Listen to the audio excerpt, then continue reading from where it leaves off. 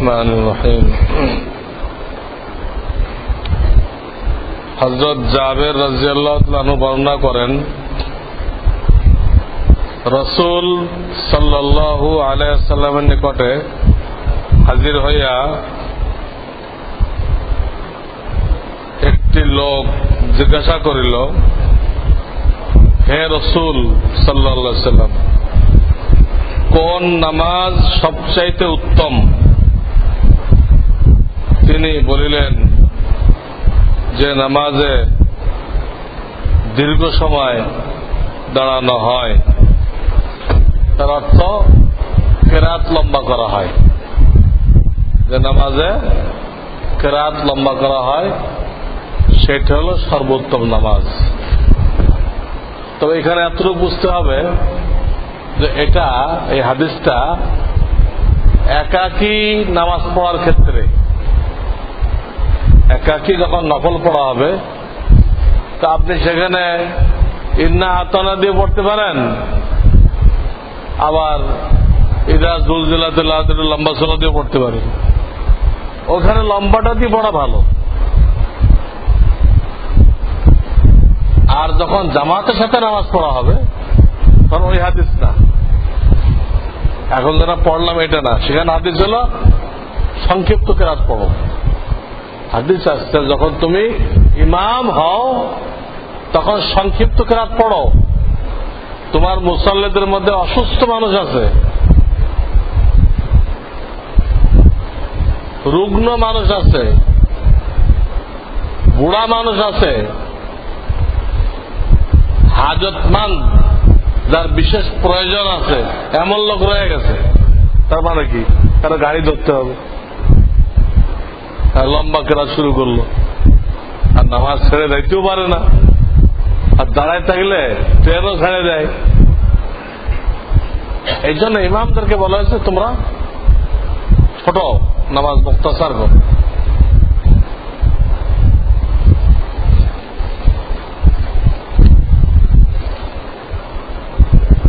এক ভাই প্রশ্ন করেছেন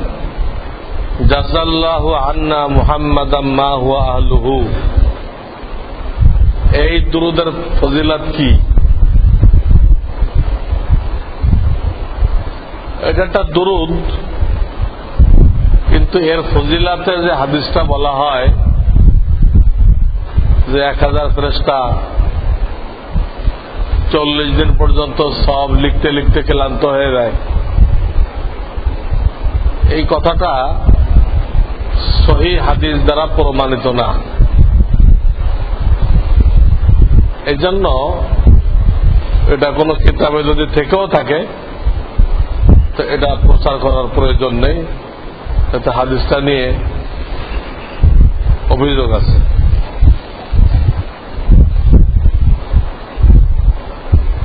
কাপড়ে অথবা শরীরে আতর মাখার সুন্নত তরিকা কি? মেহরবানি করে জানাবেন। এরকম খাস তো ই পাওয়া যায় না। হাদিসের মধ্যে খাস কোন তরিকা উল্লেখ করা হয়নি। এতটুক বলা হয়েছে, এটা নবীজির সুন্নত। সুগন্ধি ব্যবহার করার সুন্নত। এতে ফায়দা হলো যে ব্যবহার করে, তার দিমাগ তাজা তাজা হয়, ব্রেন তাজা হয়। মন প্রফুল্ল হয়। এগুলো তার ফায়দা। অন্য ভাইদের কি ফায়দা? অন্য ভাইরা ঘ্রাণ পায়, তাদের দিলটাও খুশি হয়। তো এই ভাইয়ের যদি কোনো ঘাম ইত্যাদি দুর্গন্ধ থেকে থাকে, তো ওইটাও অন্য ভাই ওর দ্বারা কষ্ট পায় না। সাধারণত মানুষ ঘেমে যায়, আর নিজের ঘাম নিজে বোঝা যায় না, পাশের ভাই কষ্ট পায়। আতর ব্যবহার করলে পাশের লোক আর কষ্ট পায় না। তো এতে একটা ফায়দা পৌঁছানো হলো, এটা বড় ইবাদত। খায়রুন্নাস মাইয়ান ফাউন্নাস হাদিস আছে, সেই সর্বোত্তম যে অন্য ভাইকে ফায়দা পৌঁছায়, উপকার করে।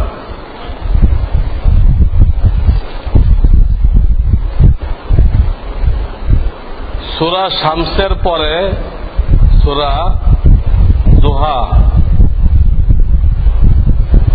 এবং বিতর নামাজের প্রথম দুই রেখাতে সুরা আসল ও সুরা কাউসার পড়ে তৃতীয় রাকাতে সুরা নাসর পড়া যাবে কিনা? সুরা শামসের পরে সুরা দুহা। ওই দুটা পড়তে তো অসুবিধা নেই। একটা পর একটা পড়া যাবে। আর এখানে যেটা বলা হলো প্রথমে সুরা আসর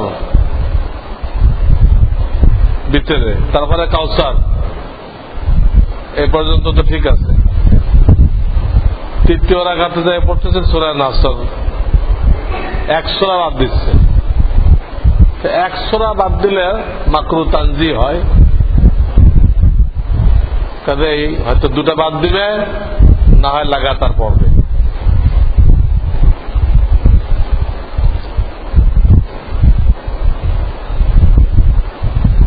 মাস্তরাত সহ ডিবি লটারি ছাড়তে নাকি শরীয়ত সম্মত ভাবে কোন নিষেধ আছে কিনা? প্রশ্ন হলো, কি জন্য যাবে সে? সে তো উল্লেখ করে এই সমস্ত দেশে নিজের দিন ইমানকে হেফাজত করা কঠিন। হালাল খানা পাওয়া যায় না। এবং মহিলারা তো সব ল্যাংটা বললে চলে। এই ল্যাংটার দেশে যায় হালাল খানা নেই, কেন যাবে? আর দাওয়াত দেওয়ার জন্য যায়, মিলবে কথা। দাওয়াত তো সারা দুনিয়ায় পৌঁছাইতে হবে যেতে পারে। বসবাসের জন্য যাওয়া ঠিক না। এতে নিজের দিন, ইমান নষ্ট হবে। নিজের আওলাদ, ফরজান, এদেরকে দিনদার বানানো কঠিন সেখানে। পরিবেশ এত নোংরা। নিজের মেয়েকে আপনি কিছু বলতে পারবেন না। বললে আপনার জেল হয়ে যাবে। সে দেশে কে নাই? অথচ আমরা যাওয়ার জন্য পাগল। সাপে কামড়াইলে মিষ্টিটা তিতা লাগে। আর তিতাটা মিঠা লাগে।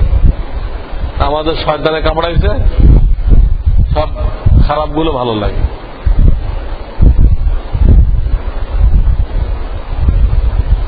ডিবি লটারি নামে আমেরিকানরা সারা পৃথিবী থেকে ভালো ছাত্র নিয়ে সেখানে উচ্চ শিক্ষার সুযোগ দেয়।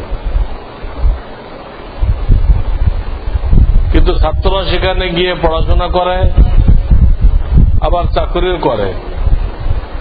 কিন্তু কেউ যদি এসব কাজ করার পাশাপাশি দিনের কাজ করে, তাহলে কি যাওয়া যাবে?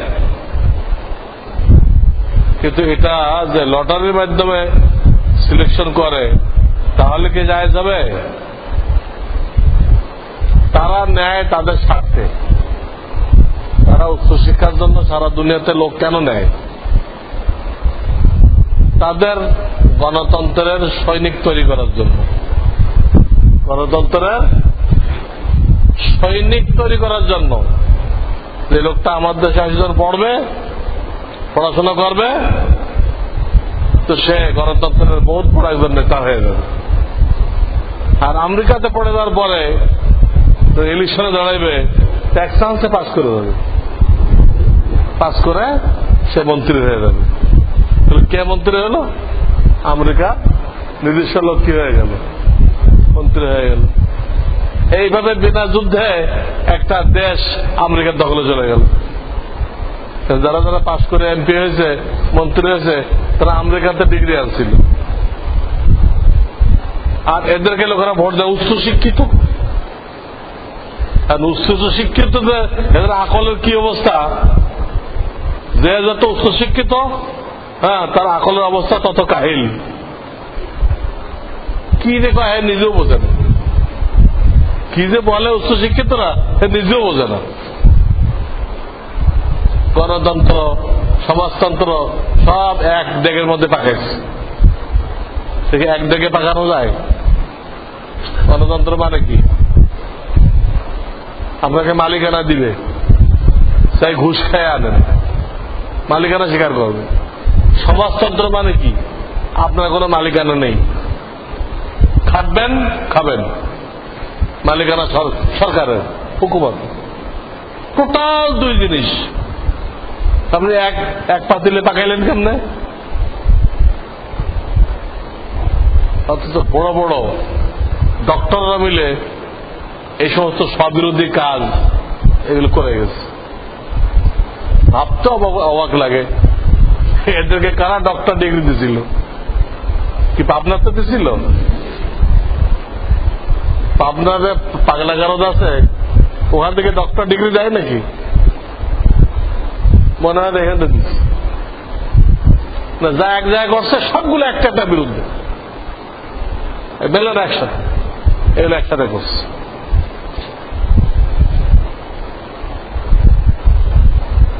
মুরগি কিনলে ওনারা জবাই করার পরেই নাড়ি ভুড়ি না ফেলে গরম পানিতে দেয়।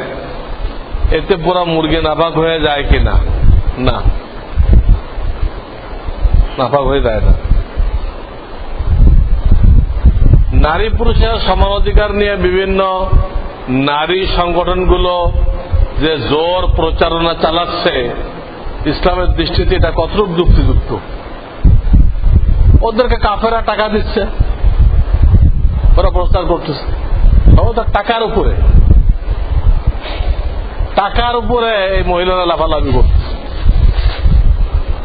মানে ওরাও জানে যেভাবে মহিলাদেরকে রাস্তা নামানো হইতেছে, তো মহিলারা কোনোদিন শান্তি পাবে না। যে বেপর্দা নামানো হয়, তো ডেলি অপহরণ হবে, ধর্ষিতা হবে হত্যা হবে, লাশ গুম হবে। মেয়েরা যদি এইভাবে বেপর্দা চলাফেরা করে, যেভাবে স্কুল, কলেজে এনজিওরা শিক্ষা দিচ্ছে, এতে কোনো নিরাপত্তা থাকবে না। সরকার যত আইন করুক, সব আইন ফেল, লিখে রাখে, আজকে তারিখ দিয়ে। সরকার মহিলাদের নিরাপত্তার জন্য যত আইন করুক, সমস্ত আইন ফেল হয়ে যাবে। সরকারের কাজগুলো স্ববিরোধিতা পূর্ণ। একদিকে তুমি নারীদের নিরাপত্তা চাইতেছ, আর একদিকে টিভি ভিসিআর হ্যাঁ ঘরে ঘরে ঢুকাই দিচ্ছে সেখান থেকে তারা এগুলো শিখতেছে, বিদেশে হ্যাঁ কীভাবে নারীদের সাথে নোংরামি করা হইতেছে, এগুলো ঘরে বসে বসে দেখতেছে, আর এই সিটির দোকানগুলো ওগুলো ব্যবসা করতেছে। জেনা ব্যবসার হ্যাঁ এর দৃশ্যের ব্যবসা হইতেছে। সেই ব্যবসা সরকার অনুমোদন করছে। এইগুলো যুবক, যুবতীরা পড়বে, আর তারা অন্যায় কাজ করবে না, এটা কীভাবে হয়? কিন্তু সরকারের পদক্ষেপগুলোই মহিলাদেরকে খুন, গুম, অপহরণের দিকে ঠেলে দিচ্ছে। আর তারা যে ডেলি সেমিনার করে নারীদের অধিকার দিতে হবে, নিরাপত্তা দিতে হবে সব দোকাবাজ দোকাবাজ মহিলাদের খুশি করার জন্য বলে। কোনদিনও দিতে পারবে না। তাদের নিরাপত্তা দিতে হলে মহিলাদেরকে দিন শিখাইতে হবে। পর্দা মানা শিখাইতে হবে। তাহলে মহিলাদের নিরাপত্তা দেওয়া যাবে।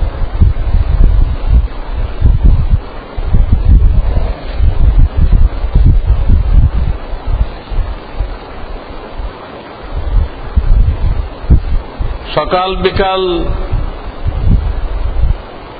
কি লিখছে? তসবিহাতের জন্য দুরুদ শরীফ একশো বার ইস্তেকফার একশো বার পড়লে আদায় হবে? হ্যাঁ হবে।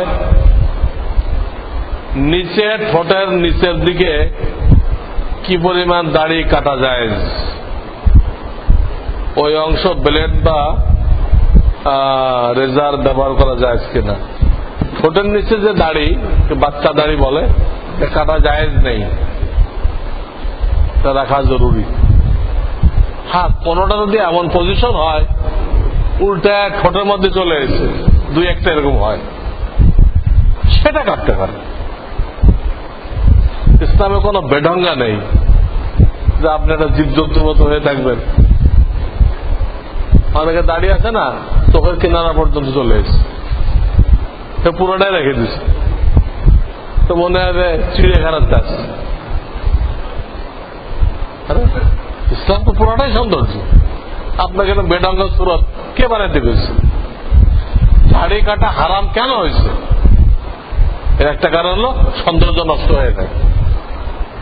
শরীয়তে এটাকে হারাম কেন করছে? সৌন্দর্য নষ্ট হয়ে যায় তাই। চেহারায় যখন একটা বাউন্ডারি থাকে তো চেহারাটা চাঁদের মতো ঝলমল করে। বাউন্ডারি ফেলে দিলেন, তার এটা ঝলমল করবে না।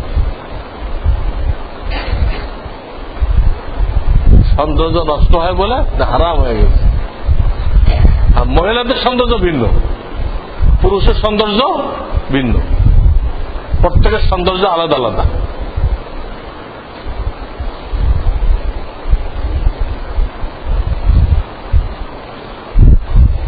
কোন ভণ্ড পীরের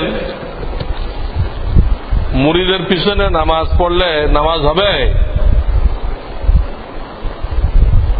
আকিদা যদি গলত হয়, তো নামাজ মকরু তাহারিমা হবে। মকরু তাহারিমা। মহিলাদের ক্ষেত্রে ঈদের নামাজের ব্যাপারে কি হুকুম? মহিলাদের জন্য ঈদের নামাজ নেই, জুমার নামাজ নেই অক্তিয়া নামাজের জামাত নেই। যদি কোনো মহিলা এগুলো করে, তো মকরুয়ে তাহারিমার গোনা হবে। সব তো কিছুই হবে না মকরুয়ে তাহারিমা। বলবে যে অমুক জায়গা হয়, তমুক জামা হয়। অমুক জায়গা, তমুক জায়গাটা শরীয়ত না। লোকেরা খাম খেয়ালি বানাই দিছে। প্রত্যেকে ইসলামকে তার বুঝ মতো ভাবে। প্রত্যেকটা মানুষ ইসলামকে নিজের বুঝ মতো মনে করে। মক্কা শরীফ দেখে আসছে মক্কা শরীফ দেখে আসছে তো। মক্কা শরীফ কি করে দলিল? হ্যাঁ? এই মক্কা শরীফ হাজিরাদের রেটিছে অহরহ সবই ডুবতেছে তো যাই হয়ে গেল। মক্কা শরীরে হোটেলে থাকতেছে, সেই হোটেলে চব্বিশ ঘণ্টা টেলিভিশন চলতেছে। টেলিভিশন জাহেজ হয়ে গেল। মক্কা শরীফ কিছু দেখলে কি জাহেজ হয়? সেখানে মহিলাদের দেখে আসছে। ওখানে মহিলাদের চেহারা খোলা দেখছে। চেহারা খোলা রাখা। অসুবিধা নেই। কোন জায়গাকে আল্লাহ রসুল দলিল বলেননি দলিল তো কোরআন সন্না